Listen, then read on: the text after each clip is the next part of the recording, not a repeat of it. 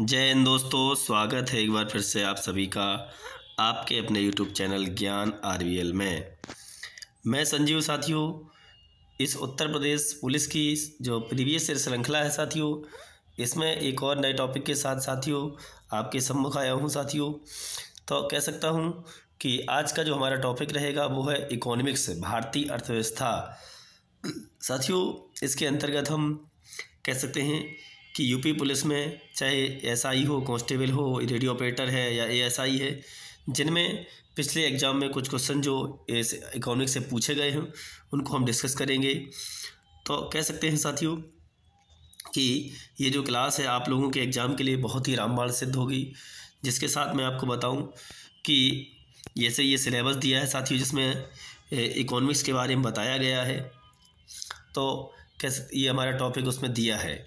इसलिए हम इसको आज डिस्कस कर रहे हैं और इससे काफ़ी आपको हेल्प मिलेगी। तो साथियों, जैसे जिन साथियों का हमारा कह सकते हैं, साथियों का जैसे रीजनिंग का पोर्शन ये कथन तर्क और निष्कर्ष, कार्रवाइयाँ, कथन उदाहरण वाला कमज़ोर पोर्शन हो तो वो हमारे प्लेलिस्ट को देख सकते हैं, ज्ञान आरबीएल चैनल पे। और कह सकते हैं कि ये स्टैटिक जीके है या पूरा जीए के जीएस का पोर्शन पड़ा हुआ है साथियों। और जैसे ये भी है, रेडियो ऑपरेटर के लिए बनाया था साथियों। पूरा टॉपिक वाइज दिया गया है। तथा यूपीएसआई का साथियों, हर सेप्ट का पूरा सॉल्यूशन पड़ा हुआ है। और जैसे हिंदी, संपूर्ण हिंदी पूरी है साथियों, जिससे को देखकर साथियों आप बहुत ही अपनी एग्ज़ाम में चार चाँद लगा सकते हैं। उत्तर प्रदेश स्पेशल की वीडियो पड़ी हुई हैं। जो भी साथी देखना चाहें तो देख सकते हैं। ये तो हमारी प्लेलिस्ट हो गई। साथियों, जैसे जो भी साथी जिनका स्ट्रेटेजी का पोर्सन बहुत कमज़ोर है जीएस में साथियों कह सकते हैं, आपको बहुत अच्छे नंबर लाने हैं। तो वो हमारे साथी कैसे कम से पंद्रह, कम से कम पंद्रह क्वेश्चन साथियों, पंद्रह से अठारह क्वेश्चन हमारी इस स्ट्रेटेजी के से आपको एग्ज़ाम में देखने को मिलेंगे साथियों। तो कह सकते हैं ये बहुत ही रामबाण सिद्ध होगी आपके एग्ज़ाम में साथियों। जैसे कि अभी हेड ऑपरेटर का एग्ज़ाम हुआ है तो उसमें साथियों सत्रह से अठारह क्वेश्चन देखने को मिले हैं हमारे इस पीडीएफ से साथियों। तो जो साथी कह सकते हैं। इसको लेना चाहें तो परचेस कर सकते हैं, जिसके लिए आपको ज्ञान आरबीएल ऑफिशियल ऐप डाउनलोड करना पड़ेगा। साथियों ज्ञान आरबीएल नाम से आपको, वो गूगल प्ले स्टोर पर मिल जाएगा और वहाँ से आप इसको कह सकते हैं परचेज़ कर सकते हैं या हमारे इस नंबर से आप साथियों व्हाट्सएप से संपर्क कर सकते हैं। और साथियों, हमारे और भी कुछ बैच हैं, जैसे ये हमारे ऐप पर चलता है, जैसे ज्ञान आरबीएल ऐप है साथियों, उसमें ये सब दिया है, जैसे साइंस का भी हो गया और सफलता टू पॉइंट ज़ीरो, जो हमारा जूनियर असिस्टेंट का बैच है साथियों, जिसकी अभी भर्ती आई हुई थी, जैसे पाँच हज़ार पाँच सौ बारह पदों वैकेंसी, बहुत ही अच्छे तरीके से कंटेंट तैयार किया, डेवलप किया गया हमारी सिलेक्टेड टीम के द्वारा, जिसमें मैं और हमारे संदीप सर, दो लोग खुद जूनियर असिस्टेंट सेलेक्टेड हैं साथियों। और कह सकते हैं कि जैसे यूपी स्पेशल की जो ई बुक है साथियों, बहुत अच्छी, बहुत ही मेहनत की गई है। साथियों, इसको आप देख सकते हैं और ये हमारा जैसे बैच था, ये भी तो पूरा हो गया साथियों ठीक है? तो हम साथियों क्लास को स्टार्ट करते हैं।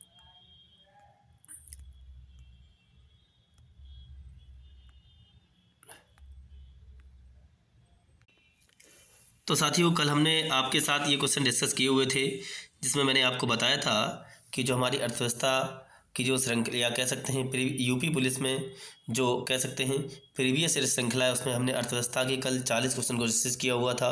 अब हम उसी के आगे डिस्कस करेंगे साथियों। तो कह सकते हैं आज का जो हमारा क्वेश्चन, जैसे ये इन सब क्वेश्चनों को हम करवा चुके हैं, यदि आप लोगों ने देखा नहीं हो तो आप यूट्यूब पर जाकर इन सबको देख सकते हैं एक बार अससरी निगाह से, और कह सकते हैं कि अपने तैयारी को, इन क्वेश्चनों को देखकर अच्छे से कह सकते हैं कंटिन्यू कर सकते हैं। तो साथियों, कह सकते कल का जो हमारा लास्ट क्वेश्चन था, वो ये था कि निम्नलिखित में से सस्ती मुद्रा नीति का तात्पर्य क्या है? ठीक है? तो अंततः पूर्ण रोज़गार को प्राप्त करने के लिए, निवेश को बढ़ावा देने के लिए तैयार की गई नीति, ये क्या कहलाती है? ठीक है? तो सस्ती मुद्रा नीति कहलाती है, ठीक है? तो आज हम यहाँ से स्टार्ट करते हैं, साथियों। तो आज का जो हमारा पहला क्वेश्चन है, ये है कि वित्त मंत्री द्वारा बजट की प्रस्तुति के संदर्भ में निम्नलिखित में से कौन सा सही है? तो साथियों बजट के बारे में पूछा गया है, ठीक है? तो जैसे कि यहाँ पे ये है ऑप्शन ए दिया ए कि वित्त मंत्री का बजट भाषण सामान्यतया दो खंडों में होता है। खंड ए कर निर्धारण संबंधी प्रस्तावों पर, और खंड बी देश के सामान्य आर्थिक सर्वेक्षण पर गौर करता है। दूसरा है, किसी चुनाव वर्ष में बजट दो बार पेश किया जा सकता है। पहली बार लेखानुदान प्राप्त करने हेतु कुछ महीनों के लिए और दूसरी बार पूरी कह सकते हैं तरह से तो ये पूछा गया है कि वित्त मंत्री द्वारा बजट की प्रस्तुति के संदर्भ में कौन सा सही है। तो कह सकते हैं कि इसका हो जाएगा केवल बी सही है साथियों, ठीक है? तो केवल बी, ऑप्शन नंबर सी में आ जाएगा, ठीक है? जैसे कि इस कैलकुलेशन में ये दिया भी गया है कि वित्त मंत्री द्वारा किसी चुनाव वर्ष में बजट की प्रस्तुति केवल दो बार ही पेश की जा सकती है। पहली बार लेखानुदान प्राप्त करने हेतु कुछ महीनों के लिए, फिर दूसरी बार पूरी तरह से। ये क्वेश्चन यूपीएसआई में साथियों, दो हज़ार सत्रह में आया हुआ है साथियों। अगला क्वेश्चन है कि मुद्रा स्फीति। मुद्रा स्फीति एक संयोजन है। डॉट डॉट डॉट वास्तविक सकल कह सकते हैं कि जीडीपी का या सकल घरेलू उत्पाद का। तो यहाँ पूछा गया है, और बढ़ता मूल स्तर का। तो जैसे ये है कि मुद्रास्फीति एक संयोजन है। तो किसका किसका संयोजन है साथियों? तो कह सकते हैं स्थिर का या अस्थिर, या बढ़ता हुआ, या घटता हुआ। तो मुद्रा मुद्रास्फीति संयोजन है, कह सकते हैं घटता हुआ। घटता हुआ वास्तविक सकल उत्पाद और बढ़ता मूल स्तर का, याद रखना है। ठीक है? तो जैसे यहाँ पे एक्सप्लेशन में भी वही दिया गया है। जैसे अगला क्वेश्चन है कि मैट मैट लगाया जा सकता है, या लगाया जाता है। न्यूनतम वैकल्पिक टैक्स बोलते हैं। ठीक है? तो हाँ शून्य कर कंपनियों पर या ग्रीन फ़ील्ड कंपनियों पर, जीवन बीमा का व्यवसाय पर या ब्राउन फ़ील्ड कंपनियों पर। तो मैट की बात कर रहे हैं तो ये लगता है साथियों, कह सकते हैं कि जो शून्य कह सकते हैं जो होती हैं कंपनियाँ या शून्य कर कंपनियों पर। तो जैसे इसमें दिया भी है कि ऐसी कंपनियाँ जो अपने लाभ हानि लेखाओं में लाभ तो प्राप्त करती हैं, परंतु, किंतु आय की गणना, इनकम टैक्स नियमों के अनुसार होने पर कुल आय शून्य या नगण्य प्राप्त होती है। जिस पर ये शून्य अथवा नाम मात्र का कर भुगतान करती हैं, ज़ीरो टैक्स कंपनियाँ कहलाती हैं। इन शून्य पर कंपनियों को कराधीन लाने हेतु इन पर न्यूनतम वैकल्पिक कर आरोपित किया जाता है, जिसे एमएटी बोलते हैं, ठीक है? और इसका प्रावधान उन्नीस सौ सतासी के वित्त अधिनियम के द्वारा किया गया था। अगला क्वेश्चन है कि वर्णित में से, वर्णित में से नीति आयोग के पदेन अध्यक्ष कौन होते हैं? तो सीधा सीधा है, भारत के जो प्रधानमंत्री होते हैं, वो नीति आयोग का पदेन अध्यक्ष होते हैं, ठीक है? योजना आयोग के होते हैं, ठीक है? योजना आयोग हो गया, नीति आयोग हो गया, राष्ट्रीय विकास परिषद हो गया, ठीक है? तो इन सब के कौन होते हैं? ठीक है राजनीति और राष्ट्रीय जल संसाधन परिषद बोलते हैं, राष्ट्रीय जल संसाधन परिषद, इन सबके तो कह सकते हैं प्रधानमंत्री होते हैं। अच्छा क्वेश्चन है, और नीति आयोग की बात करें तो साथियों, आपको पता होगा, पहले इसका नाम योजना आयोग हुआ करता था, उसी के स्थान पर नीति आयोग आया है। जो योजना आयोग है, ये पंद्रह मार्च पंद्रह मार्च उन्नीस सौ पचास को स्थापित हुआ था। इसी के स्थान पर कह सकते हैं एक जनवरी दो हज़ार पंद्रह को, एक जनवरी दो हज़ार पंद्रह को कह सकते हैं नीति आयोग की स्थापना की गई थी, याद रखना है। तो नीति आयोग इसे national institution for transforming India बोलते हैं। नीति आयोग का मतलब राष्ट्रीय भारत परिवर्तन संस्थान होता है। भारत सरकार द्वारा गठित एक नया संसाधन है, ठीक है? ये संवैधानिक भी नहीं है, इसे गैर संवैधानिक बोलते हैं। जिसे योजना आयोग के स्थान पर बनाया गया, एक जनवरी दो हज़ार पंद्रह को नए संस्थान के संबंध में जानकारी देने वाला मंत्रिमंडल का प्रस्ताव जारी किया गया। तत्कालीन पीएम या प्रधानमंत्री नीति आयोग का पदेन अध्यक्ष होता है वेरी इंपॉर्टेंट है। और वर्तमान में अभी अब ये नहीं है साथियों, ठीक है? ये तो बदल गए हैं। तो बी वी आर सुब्रमण्यम तो इसके सीईओ पूछे जाएँ। बी वी आर सुब्रमण्यम जो है V V R Subrahmanyam CEO है नीति आयोग के, जबकि उपाध्यक्ष सुमन बैरी है। उपाध्यक्ष कौन है? सुमन बैरी, ठीक है? तो ये सब याद रखना है। सुमन बैरी जो है, इनके उपाध्यक्ष हैं साथियों, नीति आयोग। अगला क्वेश्चन है कि डॉट डॉट डॉट एक महिला सरकारी सहकारी संगठन है, जो तरह तरह के सामान बनाती है, जिनमें प्रमुख है लिज्जत पापड़, ठीक है? तो ये कौन है? तो स्वनियोजित महिला संगठन भारतीय ग्रामीण महिला संघ दुर्गा वाहिनी या श्री महिला गृह उद्योग। तो श्री महिला गृह उद्योग एक महिला सहकारी संगठन है, ठीक है, जो क्या करता है, जो तरह तरह के सामान बनाती है, जिनमें प्रमुख लिज्जत पावड़ ठीक है तो ये श्री महिला गृह उद्योग संगठन। तो कह सकते हैं, वर्ष उन्नीस पचास में सात गुजराती महिलाओं ने अस्सी रुपए की लागत से पापड़ बनाने का काम शुरू किया। उन्नीस सौ बासठ में यही पापड़ लिज्जत कह सकते हैं इन महिलाओं के संगठन को श्री महिला गृह उद्योग लिज्जत पापड़ नाम दिया गया। अगला क्वेश्चन है कि वह कौन सा बजट होता है जिसमें प्रत्येक अवधि के लिए सभी खर्चों को न्यायोचित होना चाहिए?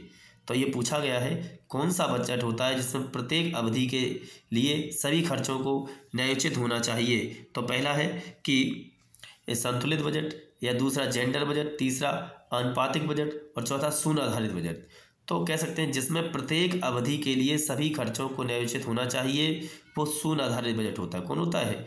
ज़ीरो बेस्ड नेक्स्ट अब मैं बजट की बात करूँ तो साथियों, हमारे संविधान के अनुच्छेद 112 में वार्षिक वित्तीय विवरण क्या है? वार्षिक वित्तीय विवरण बोलते हैं साथियों, ठीक है? जबकि बजट वित्त मंत्री पेश करते हैं और कह सकते हैं कि वर्तमान वित्त मंत्री हमारी निर्मला सीतारमन जी हैं।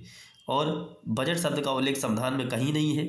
जब वहाँ पर अनुच्छेद एक सौ बारह में वार्षिक वित्तीय विवरण शब्द का उल्लेख किया गया है तो यहाँ पर जैसे बताया गया है शून्य आधारित बजट का प्रयोग सर्वप्रथम उन्नीस सौ बासठ में पीटर पायर द्वारा अमेरिका में किया गया था। कब हुआ था? उन्नीस सौ बासठ में। किसके द्वारा? कहाँ? तो अमेरिका में पीटर पायर द्वारा।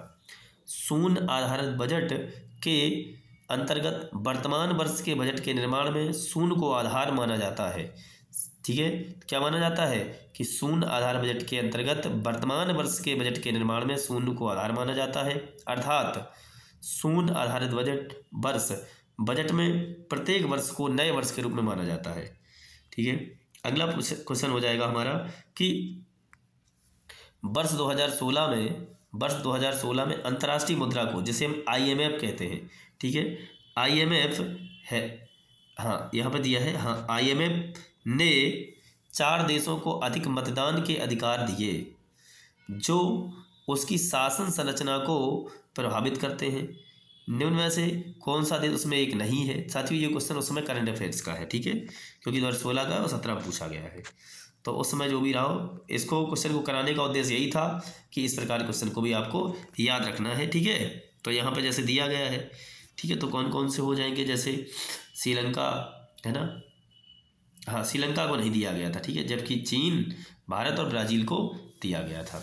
आईएमएफ का मतलब होता है इंटरनेशनल मॉनेटरी फंड और कह सकते हैं वाशिंगटन डीसी में इसका हेडक्वार्टर है। वाशिंगटन डीसी ये डीसी का मतलब होता है डिस्ट्रिक्ट ऑफ़ कोलंबिया तो कोलंबिया का कह सकते का जो डिस्ट्रिक्ट है वाशिंगटन ठीक है? याद रखना है। अब क्वेश्चन ये है कि आईएमएफ की स्थापना तो कह सकते हैं कि जब ब्रिटेन बोर्ड सम्मेलन हुआ था साथियों ब्रिटेन जो ब्रिटेन बोर्ड सम्मेलन था उन्नीस में जब ये होता है, ठीक है तो इसी के अंतर्गत फिर उन्नीस पैंतालीस में दिसंबर, सत्ताईस दिसंबर सत्ताईस दिसंबर 1945 से ये अपना काम करना शुरू कर देती है, ठीक है, ये भी याद रखना है 1945 से। अगला है कि केंद्र, निम्न में केंद्र निम्नलिखित में से कौन सा कर लगाता है? लगाता कौमा एकत्रित और प्रतिधारित करता है। तो केंद्र का पूछा गया है, निम्न में से कौन सा है? तो ऑप्शन है, औषधि निर्माणों पर उत्पाद शुल्क, आयकर पर अधिका, अधिभार, रेलवे और मुद्रा शुल्क।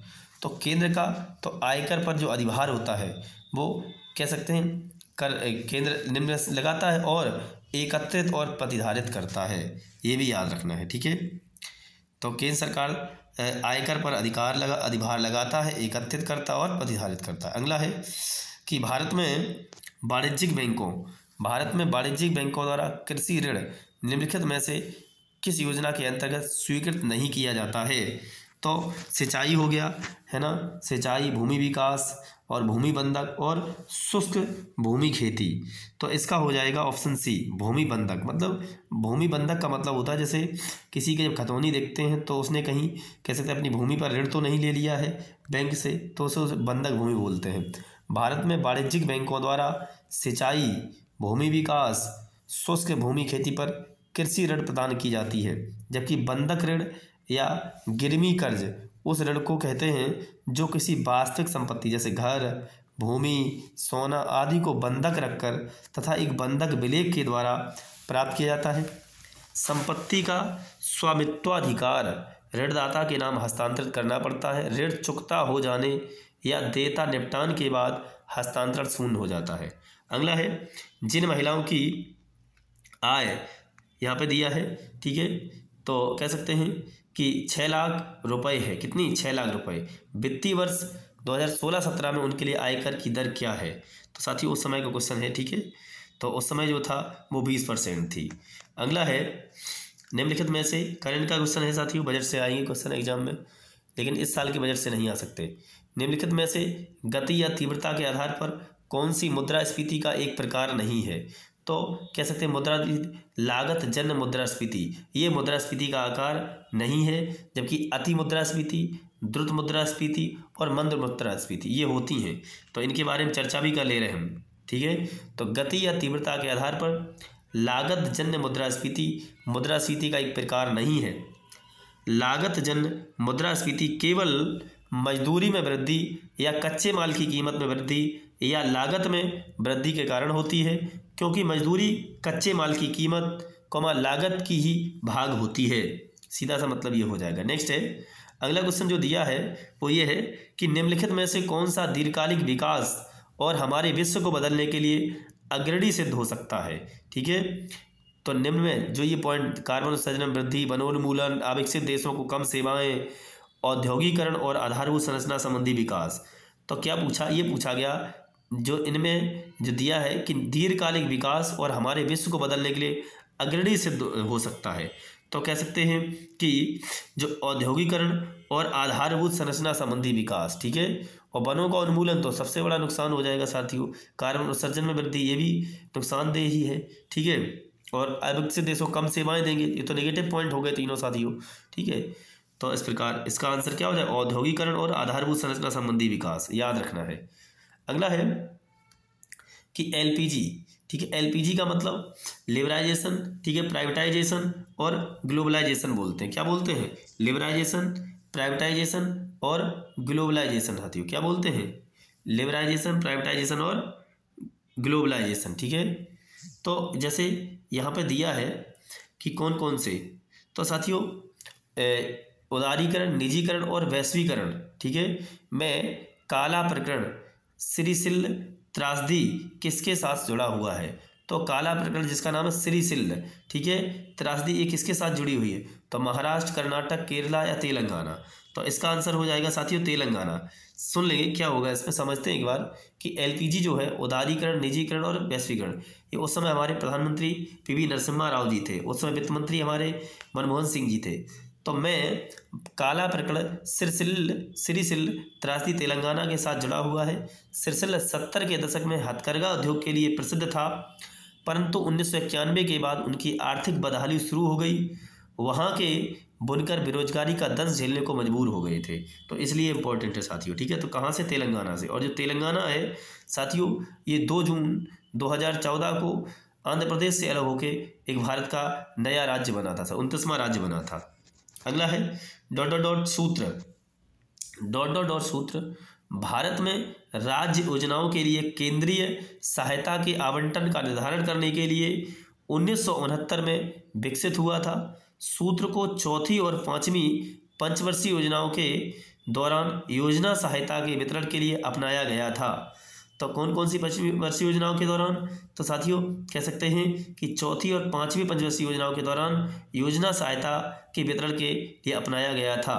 तो कह सकते हैं, इसमें गौडगिल हो गया, या सरकारिया, या संचेती या राजमन्नार। ठीक है साथियों? तो कैसे इसका आंसर हो जाएगा गौडगिल समिति। ठीक है, ये गौडगिल सूत्र वेरी इंपॉर्टेंट है। गौडगिल सूत्र भारत में राज्य योजनाओं के लिए केंद्रीय सहायता के आवंटन का निर्धारण करने के लिए उन्नीस में विकसित हुआ था, ठीक है? चौथी पांचवी पंचवी के दौरान। अगला है, निम्नलिखित में से कौन सा एक राज्य की उधार लेने की शक्ति के संबंध में सही है? तो कह सकते हैं, यह भारत के बाहर से उधार नहीं ले सकता। विशेष शर्तों के अधीन राज्य को, राज्य के राजस्व की जमानत पर भारत के भूभाग में से ही उधार लेने का अधिकार होगा। तो केवल एक एक दो दोनों, या केवल दो, या एक भी नहीं। तो इसका आंसर हो जाएगा, एक और दो दोनों हो जाएँगे साथियों, ठीक है? अनुच्छेद दो सौ तिरानवे में ये दिया गया है कि यह भारत के बाहर से उधार नहीं ले सकता तथा विशिष्ट शर्तों के अधीन राज्य को राज्य के राजस्व को जमानत भारत के भूभाग में से ही उधार लेने का अधिकार होगा। ठीक है तो ये यहाँ पर दिया गया है। अगला क्वेश्चन है साथियों कि प्रत्य हाँ प्रत्यय स्फीति जो है प्रत्यय स्फीति प्रत्यय स्फीति का अर्थ क्या है? ठीक है? तो पहला है कि सामान्य कीमत स्तर में वृद्धि, जो अक्सर धन या ऋण की आपूर्ति में कमी की वजह से होती है, या मुद्रास्फीति में कमी। सामान्य कीमत स्तर में गिरावट, जो अक्सर धन या ऋण की आपूर्ति में कमी की वजह से होती है, या सरकार की ओर से एक मौद्रिक हस्तक्षेप के माध्यम से अपस्फीति का सुविचारित व्युत्क्रमण। तो प्रत्यय जो स्फीति है, इसका मतलब होता है कि सरकार की ओर से, सरकार की ओर से एक मौद्रिक हस्तक्षेप के माध्यम से अपस्फीति का सुविचारित व्युत्क्रम। ठीक है? इसको कहते हैं। अगला क्वेश्चन है, निम्नलिखित में से कौन सा संरचनात्मक बेरोजगारी के लिए सबसे कम कारण माना जाएगा? तो संरचनात्मक बेरोजगारी का सबसे कम कारण, आबादी, प्रौद्योगिकी, देशों के बीच मुक्त व्यापार समझौते, नौकरियों को स्थानांतरित करने के लिए प्रेरित होते हैं, करते हैं। उस क्षेत्र का अप्रासंगिक ज्ञान जिसमें रोज़गार के अवसर कम है। तो इसमें यह पूछा गया, संरचनात्मक बेरोजगारी सबसे कम कारण कौन है? तो आबादी हो जाएगा साथी। कौन सा? आबादी मतलब जनसंख्या से, बाद बाकी तो अच्छे हैं। जैसे संरचनात्मक बेरोजगारी तब प्रकट होती है जब बाज़ार में दीर्घकालिक स्थितियों में बदलाव आता है। यह बेरोजगारी देश की अर्थव्यवस्था में संरचनात्मक परिवर्तनों के कारण उत्पन्न होती है। देश के सामाजिक, आर्थिक एवं तकनीकी विकास के परिणाम स्वरूप कुछ उद्योगों का विस्तार हुआ तथा कुछ अन्य उद्योगों का संकुचन होता गया, जिससे विस्तारित उद्योगों में रोजगारों की मांग बढ़ गई तथा संकुचित हो रहे उद्योगों के उत्पादन में लो, लगे लोग बेरोजगार हो गए। इस प्रकार की बेरोजगारी में आबादी या जनसंख्या को कम कारण माना जाता है जबकि इसका प्रमुख कारण अपर्याप्त उत्पादन क्षमता है। अगला क्वेश्चन है कि निम्नलिखित में से कौन सा एक ऐसा कर है जिसकी वसूली सिर्फ़ राज्य कर सकता है? ठीक है तो भूमि राजस्व सीमा शुल्क आयकर पर अधिकार, ये तो अभी ये केंद्र का आया था, देखो हमने बताया था, ठीक है? व्यक्तियों और कंपनी की संपत्ति के पूंजीगत मूल्य पर कर तो साथियों कह सकते हैं? से दूसरी शिफ्ट में उसी तरह का क्वेश्चन पूछा गया साथियों। तो ये भूमि राजस्व, यहाँ राज्य का दिया ना तो भूमि पर जो लगान होता है, राज्य सरकार का होता है सीधा सीधा इसका आंसर हो जाएगा, ठीक है? तो राज्य सरकार द्वारा लिए जाने वाले कर कौन कौन से हैं? जैसे प्रत्यक्ष कर में कौन है? होटल, भू राजस्व, कृषि, आय, व्यवसाय कर गैर शहरी अचल संपत्ति पर कर, रोज़गार पर कर, ठीक है? और अप्रत्यक्ष कौन से हैं जो राज्य सरकार द्वारा लिए जाते हैं? बिक्री या व्यापार कर, परिवहन कर, विद्युत कर, खनिज तेल पर बिक्री कर, स्टाम्प और रजिस्ट्रेशन शुल्क, ये सब राज्य सरकार के ही हैं। लेकिन ये वाले अप्रत्यक्ष हैं, शिक्षा कर आदि। केंद्र द्वारा लिए जाने वाले कर कौन कौन से, इनको अच्छे से देख लेंगे। तो केंद्र सरकार देखो, प्रत्यक्ष कर में जैसे आयकर हुआ, निगम कर है ना? धन कर, संपत्ति कर, उपहार कर, खर्च कर, ब्याज कर, ठीक है? जबकि अप्रत्यक्ष में जीएसटी हो गया, जैसे जीएसटी वेरी इंपॉर्टेंट है, ठीक है? सत्रह अप्रत्यक्ष करों को मिलाकर जीएसटी की स्थापना की गई थी। तो जीएसटी केंद्रीय उत्पाद शुल्क, ये भी केंद्र सरकार का अप्रत्यक्ष कर है, सीमा शुल्क केंद्र सरकार का अप्रत्यक्ष कर है। याद रखना। अगला क्वेश्चन है, इनसे क्वेश्चन ऐसे ही बनता है निम्न में से कौन सा राज्य सरकार का कर है, या कौन सा राज्य सरकार का नहीं है निम्न में से कौन सा केंद्र सरकार का कर है निम्न से कौन सा केंद्र सरकार का कर नहीं है तो एक बार और देख लेते हैं। केंद्र सरकार का आयकर, निगम कर, धन कर, संपत्ति कर, उपहार कर, खर्च कर, ब्याज कर, जबकि सीमा शुल्क केंद्रीय उत्पाद शुल्क और जीएसटी ये सब केंद्र सरकार के हैं, ठीक है? जबकि राज्य सरकार के तो राज्य सरकार के जैसे होटल, भू राजस्व, कृषि, व्यवसाय, गैर शहरी अचल संपत्ति, रोज़गार कर बिक्री, व्यापार, परिवहन, विद्युत कर, खनिज तेल पर बिक्री स्टाम्प रजिस्ट्रेशन इंपॉर्टेंट है, शिक्षा कर, राज्य सरकार के थे ये सब, ठीक है साथियों? तो अगला जो क्वेश्चन है साथियों हमारा, कि विभिन्न बाजारों में कीमतों या पतीला, अब में अंतर से लाभ लेने को क्या कहा जाता है? तो अंतर पड़न बोलते क्या बोलते हैं? अंतर पड़न ठीक है? तो कह सकते हैं अंतरपणन द्वारा एक ही समय अवधि में भिन्न भिन्न बाजारों के क्रय विक्रय द्वारा कीमत स्तरों में परिवर्तन के परिणाम स्वरूप लाभ प्राप्त किया जाता है। ये विदेशी विनिमय दरों में स्थिरता लाने में सहायक होते हैं। अगला है, किस प्रमुख देश की पूंजी भारतीय पूंजी बाज़ार चल निधि को चलाने वाली है? तो कह सकते हैं, रूस, अमेरिका, फ्रांस या चीन। तो संयुक्त राज्य अमेरिका। अच्छा क्वेश्चन है साथियों, कि तो भारत जो अमेरिका है, कि पूंजी भारतीय पूंजी बाज़ार चल निधि को चलाने वाली है। इसका मतलब क्या है? तो इसका मतलब ये है कि अमेरिका की पूंजी, भारतीय पूंजी बाज़ार को चलाने वाली संयुक्त राज्य अमेरिका उन देशों में शामिल है, जहाँ से बहुत ज़्यादा निवेश भारतीय बाजारों में आता है। तो इसका मतलब ये था। अगला क्वेश्चन है कि उस मध्यस्थता को जो निवेशकों से तुलनात्मक रूप से कम विनिमय किए जा सकने वाले प्रत्यक्ष ग्राहक स्वीकार करते हुए, बचतकर्ताओं को ऐसे अप्रत्यक्ष ऐसे अप्रत्यक्ष वित्तीय दावे जारी करने से संबंधित हैं, जो तुरंत विनिमय किए जा सकते हैं। डॉट डॉट डॉट कहा जाता है। तो ऑप्शन है, डिफ़ॉल्ट मध्यस्थता या परिपक्वता मध्यस्थता या चल निधि मध्यस्थता या मान। तो चल निधि जो मध्यस्थता है, इसका आंसर हो जाएगा। तो उस मध्यता को, जो निवेशकों से तुलनात्मक रूप से जो कम विनिमय किया जा सकने वाला प्रत्यक्ष ग्राहक स्वीकार करते हुए बचतकर्ताओं को ऐसे अप्रत्यक्ष वित्तीय दावे करने संबंधित है, जो तुरंत विनिमय किए जा सकते हैं। उसे चल निधि मध्यस्थता कहते हैं। अगला है dot dot dot. Dot dot dot, Bharat सरकार द्वारा समर्थित एक बचत खाता योजना है, जो बालिकाओं के माता पिता के लिए लक्षित है। तो कौन सी? सुकन्या सुकन्या समृद्धि योजना। कौन सी? सुकन्या समृद्धि योजना। अच्छा क्वेश्चन है साथियों, किससे संबंधित है? बालिकाओं के माता पिता के लिए लक्षित है। ठीक है? तो कह सकते हैं, इसका मतलब ये है कि एक बचत खाता योजना जो बालिकाओं के माता पिता के लिए लक्षित है, इस योजना के अंतर्गत दस वर्ष तक की बालिकाओं का खाता खोला जाता है। अगला है, निम्नलिखित में से कौन सी परिभाषा आयकर से संबंधित नहीं है? ये पूछा गया है। तो छूट, सरल फॉर्म, मॉडवेट या निर्धारण वर्ष। तो आयकर से पूछा गया, संबंधित कौन सी नहीं है। तो साथियों, कह सकते हैं कि मॉडवेट जो है, ये आयकर से संबंधित नहीं है। मॉडवेट सेल टैक्स का बदला हुआ रूप था। किसका? सेल टैक्स का। जिसे अब जीएसटी के रूप में जाना जाता है। अगला है, स्वसमाप्ति ऋण का मतलब क्या होता है? तो स्वसमाप्ति ऋण का मतलब जैसे ऑप्शन है कम या मध्यवर्ती अवधि के ऋण का एक प्रकार, जो उस संपत्ति के द्वारा उत्पन्न धन से चुकाया जाता है, जिसे खरीदने के लिए इसका प्रयोग किया जाता है। दूसरा है, वह ऋण जो परिपक्वता तिथि पर अपने आप ही समाप्त हो जाता है। तीसरा है कि वाणिज्यिक लेन देन के कम या बिना कोई सबूत के साथ ऋण, उच्च जोखिम भरा वित्तीय विकल्प तो ये सब दिए गए। तो इसका आंसर हो जाएगा स्वसमाप्ति ऋण का मतलब कम या मध्यवर्ती अवधि के ऋण का एक प्रकार, जो उस संपत्ति के द्वारा उत्पन्न धन से चुकाया जाता है, जिसे खरीदने के लिए इसका प्रयोग किया जाता है। ठीक है साथियों तो अगला क्वेश्चन ये है कि जिस बाज़ार में प्रतिभूति दस्तावेज़ का पूंजी जुटाने वाले और खरीदार के बीच सीधे कारोबार होता है, उसे क्या कहते हैं? तो उसे प्राथमिक बाज़ार कहते हैं। सीधा सीधा अच्छा क्वेश्चन है इंपॉर्टेंट क्वेश्चन है साथियों। अगला ये है कि भारत में निम्नलिखित में से किस क्षेत्र में विदेशी प्रत्यक्ष निवेश निषिद्ध है? तो कह सकते हैं विमान सेवा में भी है, रेलवे में भी है, रक्षा क्षेत्र में। तो तंबाकू में एफडीआई निषिद्ध है साथियों, ठीक है?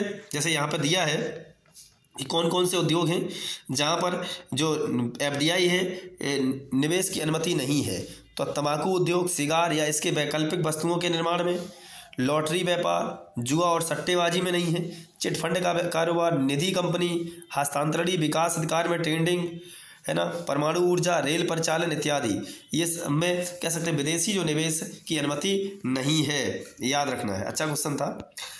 भारत वापस आ गए किसी आदिवासी द्वारा विदेशी मुद्रा कारोबारी बैंक में खोले गए विदेशी मुद्रा खाते को क्या कहा जाता है? तो मुद्रा अर्जक विदेशी मुद्रा ठीक है? अनिवासी भारतीय मुद्रा, विदेशी मुद्रा अनिवासी भारतीय, विदेशी मुद्रा व्यापारी संघ है। तो इसका मतलब हो जाएगा कि सभी श्रेणी के विदेशी मुद्रा अर्जक, जैसे कि, जैसे व्यक्ति, कंपनियाँ आदि जो भारत में निवास करते हैं, वे विदेशी मुद्रा अर्जक, विदेशी मुद्रा खाते खोल सकते हैं। विदेशी मुद्रा अर्जक, विदेशी मुद्रा खाते केवल चालू खाते के रूप में रखे जा सकते हैं। इस खाते पर कोई ब्याज दे नहीं है।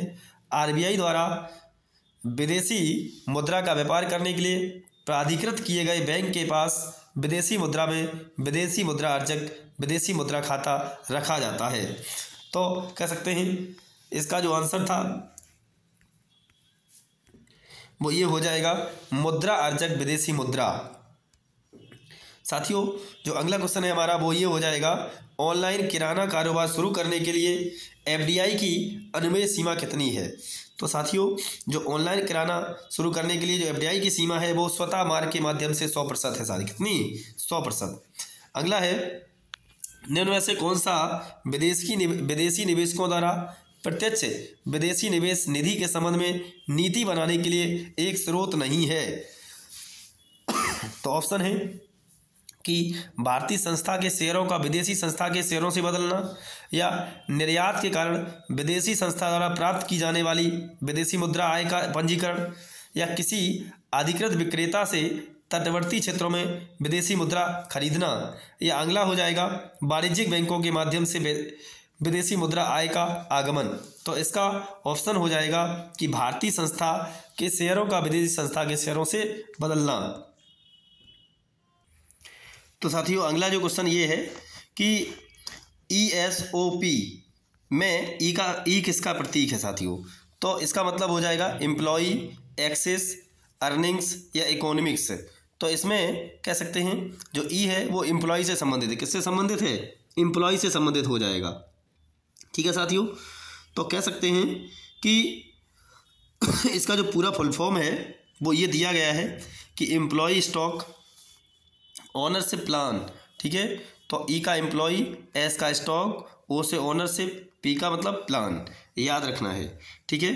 अगला क्वेश्चन ये है कि भारतीय बैंक में ओटीपी और के का पूरा रूप क्या है? तो ओटीपी का मतलब वन टाइम पासवर्ड हो जाएगा और K Y C know your customer ठीक है? तो one time password one time password है। Know your customer know your customer नहीं लिखा साथियों। नो योर कस्टमर लेकिन यहाँ वन टाइम पासवर्ड नहीं लिखा है। तो कह सकते हैं। इसका हो जाएगा कि ओ का मतलब वन टाइम पासवर्ड और नो योर कस्टमर जैसे कि हाँ यहाँ पे दिया भी है वन टाइम पासवर्ड और नो योर कस्टमर ठीक है? अगला है, भारत अपने भारत अपने नारियल के वार्षिक उत्पादन में डॉट डॉट डॉट और इंडोनेशिया के बाद तीसरे स्थान पर है। तो ये पूछा गया है तो किसके बाद है साथियों? तो कह सकते हैं कि फिलीपींस और इंडोनेशिया के बाद तीसरे स्थान पर है। किसके इसके बाद? फिलीपींस और इंडोनेशिया के बाद। किसके उत्पादन में? नारियल के उत्पादन। ये उस समय का क्वेश्चन है साथियों, करंट का क्वेश्चन है। अभी का डेटा अलग है, देख लेना है। जबकि ये पूछा जाए कि भारत में नारियल का सबसे अधिक उत्पादन करने वाला राज्य कौन है? तो साथियों, भारत में तमिलनाडु जो है साथियों, ये भारत में सबसे अधिक, कह सकते हैं, नारियल का उत्पादन करता है। याद रखना है, ठीक है? तमिलनाडु के बाद केरला हो जाएगा। अगला क्वेश्चन है कि योजना आयोग के तहत खोले गए, योजना आयोग के तहत खोले गए सभी बैंक खातों में पाँच हज़ार रुपये ओवरड्राफ्ट की सुविधा दी गई है। तो किसके कह सकते हैं? तो इसका सकते ऑप्शन हो जाएगा प्रधानमंत्री मुद्रा योजना, स्वर्ण भारत योजना, प्रधानमंत्री जनधन योजना या अटल पेंशन योजना। तो फिर सुन लेंगे, योजना आयोग के तहत खोले गए सभी बैंक खातों में पाँच हज़ार रुपये ओवरड्राफ्ट की सुविधा दी गई है। तो प्रधानमंत्री जनधन योजना के तहत, किसके तहत? प्रधानमंत्री जनधन योजना के तहत। याद रखना है। अब क्वेश्चन ये है कि जो जनधन योजना है, इसकी शुरुआत कब हुई थी साथियों? तो इसकी जो घोषणा है वो पंद्रह अगस्त 2014 को हुई थी। पंद्रह अगस्त 2014 को, जबकि कह सकते इसकी घोषणा हुई और इसकी कह सकते हैं कि स्थापना पूछी या इसका शुभारंभ पूछा जाए तो 28 अगस्त 2014 को 28 अगस्त 2014 को इसकी शुरुआत हुई थी। याद रखना है, मोदी जी ने इसकी घोषणा की थी। अगला है कि यहाँ पर दिया है, अगला क्वेश्चन जो है जाएगा हमारा, वो ये हो जाएगा कि विश्व बैंक की, विश्व बैंक की उद्योग सहिष्णुता उद्योग सहिष्णुता सूचकांक 2018 की सूची में भारत का कौन सा स्थान है? तो उस समय का क्वेश्चन है, साथियों करंट का हो जाएगा। तो उस समय जो इसका जो आंसर था, साथियों, वो ये था कि विश्व बैंक द्वारा जारी उद्योग, इसकी बात करें हम तो इसमें अब वर्तमान में कह सकते हैं के अनुसार देख लेना, साथियों, ठीक है? तो अठारह में एक सौ नब्बे देशों की सूची में सतहत्तरवा स्थान था, जो यहाँ पे नहीं दिया गया है। ठीक है, साथ, अगला क्वेश्चन निम्नलिखित में से,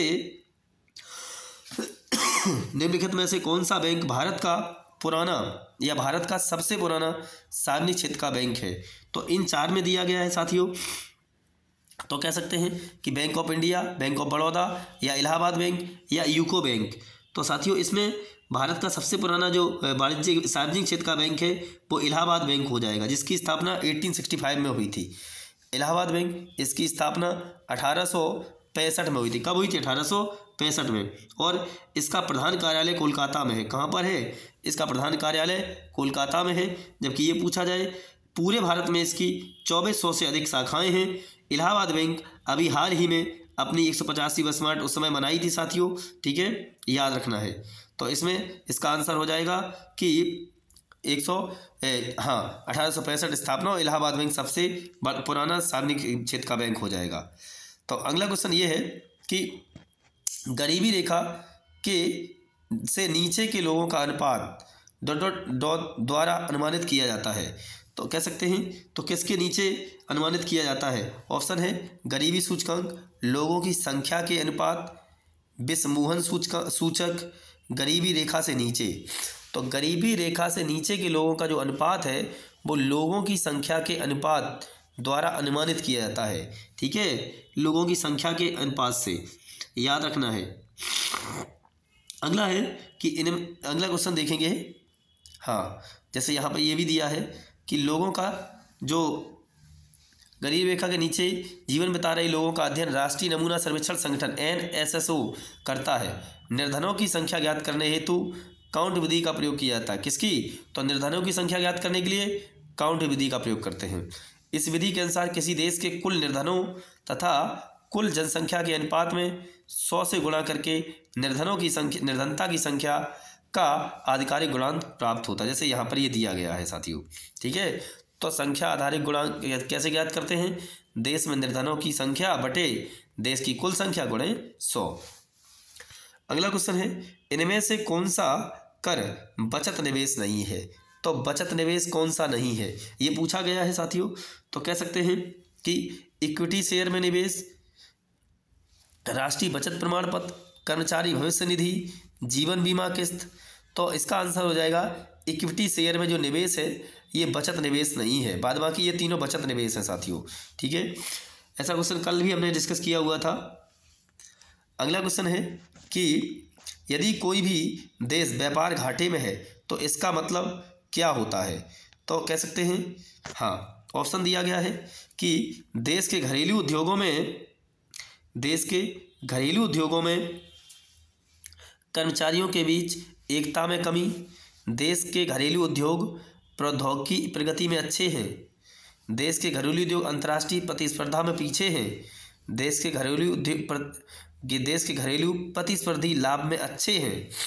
तो इसका मतलब ये है, यदि कोई भी देश व्यापार घाटे में है तो इसका सीधा सा मतलब क्या है? इसका मतलब ये है कि देश के घरेलू उद्योग अंतर्राष्ट्रीय प्रतिस्पर्धा में पीछे हैं। सीधा सा मतलब है, ठीक है? व्यापार घाटे का मतलब। अगला क्वेश्चन जो हो जाएगा, वो ये है कि हाँ एक वित्तीय वर्ष के लिए, एक वित्तीय वर्ष के लिए भारत सरकार की अनुमानित प्राप्तियों एवं व्यय का वार्षिक वित्तीय विवरण क्या है? ठीक है? तो वार्षिक वित्तीय विवरण ये वित्त विधेयक, अनुदान या बजट या धन विधेयक। तो सीधा अभी हमने पढ़ाया, बताया भी था आपको। तो ये तो बजट हो जाएगा, साथियों, क्या हो जाएगा?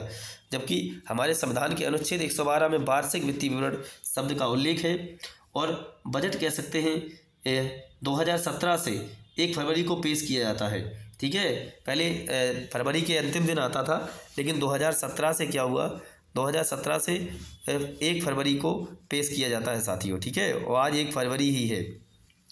तो आज हमारे देश का बजट पेश किया गया है। नेक्स्ट है कि हाँ इसका आंसर ये हो जाए। अगला क्वेश्चन है कि बेरोजगारी के बेरोजगारी के एक प्रकार को क्या कहते हैं? एक प्रकार को क्या कहते हैं? जिसमें कई लोगों के कार्यरत होने पर भी उत्पादकता कम होती है। तो सीधा सा मतलब है कि जिसमें कई लोगों के कार्यरत होने पर भी उत्पादकता कम होती है। जैसे एक परिवार है जिसमें पाँच सदस्य हैं, ठीक है? कितने सदस्य? पाँच सदस्य। उनके पास भूमि का टुकड़ा है, दो बीघा है। कितना? दो बीघा। तो कह सकते हैं, उनमें से पाँच सदस्यों में से दो सदस्य बाहर प्राय कहीं कह सकते हैं, किसी कंपनी में जॉब कर रहे थे, ठीक है? दो लोग। बचे तीन लोग। तो तीन लोग इस भूमि के टुकड़े पर खेती कर रहे थे दो बीघे पर ठीक है? लेकिन ये उसके बाद तो उस समय जितनी पैदावार हो रही थी, ठीक है, जैसे जो भी है, उसके बाद जब ये ये दोनों भी इसमें आ गए, ठीक है, इन तीनों के साथ मिलके पाँचों लोग इस भूमि के टुकड़े पे खेती करने लगे, तब भी पैदावार उतनी हुई। तो इसे क्या बोलते इसे प्रच्छन्न बेरोजगारी बोलते किसे, क्या बोलते प्रच्छन्न बेरोजगारी, ठीक है? तो यही तो बताया गया है कि जिसमें कई लोगों के कार्यरत होने पर भी उत्पादकता कम होती उसे प्रच्छन्न बेरोजगारी कहते हैं। क्या कहते हैं? प्रच्छन्न बेरोजगारी। अच्छा क्वेश्चन था साथियों। ठीक है साथियों? तो आज का जो हमारा ये है लास्ट क्वेश्चन रहेगा। मिलते हैं एक और नई क्लास में साथियों। आशा करते हैं आप लोग अच्छे होंगे और तैयारी अच्छे से कर रहे होंगे। एग्ज़ाम में ज़्यादा समय नहीं है। आज एक, एक फरवरी हो गया है साथियों। तो कह सकते हैं जितना भी रिवीजन करना हो अच्छे से कर लो। पर डे प्रैक्टिस सेट लगाएँ और अपना कह सकते हैं मनोबल बनाए रखें। ठीक है? क्योंकि मौका बार बार नहीं मिलता है और कह सकते हैं इतनी बड़ी वैकेंसी नहीं आती है। जो भी साथी अच्छे से तैयारी कर रहे हों। लगे रहें हमेशा मोटिवेट रहें, हमेशा पॉजिटिव रहें साथियों। ठीक है साथियों? जय हिंद, जय भारत। मिलते हैं एक और नई क्लास में साथियों हम आपको।